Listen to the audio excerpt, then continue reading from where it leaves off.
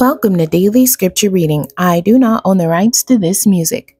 John chapter 10, verses 22 through 42. This is the King James Version. And it was at Jerusalem, the feast of the dedication, and it was winter. And Jesus walked in the temple in Solomon's porch. Then came the Jews round about him and said unto him, How long dost thou make us to doubt? If thou be the Christ, tell us plainly.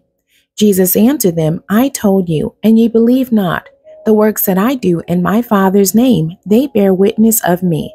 But ye believe not, because ye are not of my sheep, as I said unto you. My sheep hear my voice, and I know them, and they follow me. And I give unto them eternal life, and they shall never perish, neither shall any man pluck them out of my hand.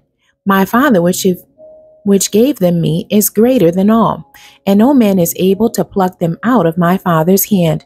I and my Father are one. Then the Jews took up stones again to stone him. Jesus answered them, Many good works have I showed you from my Father. For which of those works do ye stone me?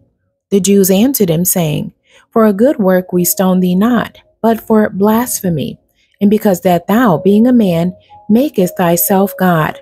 Jesus answered them, Is it not written in your law, I said, Ye are gods?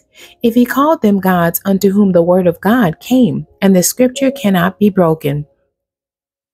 Say ye of him whom the Father hath sanctified, and sent into the world, Thou blasphemest, because I said, I am the Son of God? If I do not the works of my Father, believe me not. But if I do, though ye believe not me, believe the works, that ye may know and believe that the Father is in me and I in him.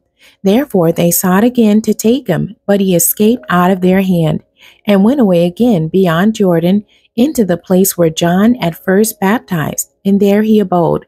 And many resorted unto him and said, John did no miracle, but all things that John spake of this man were true, and many believed on him there.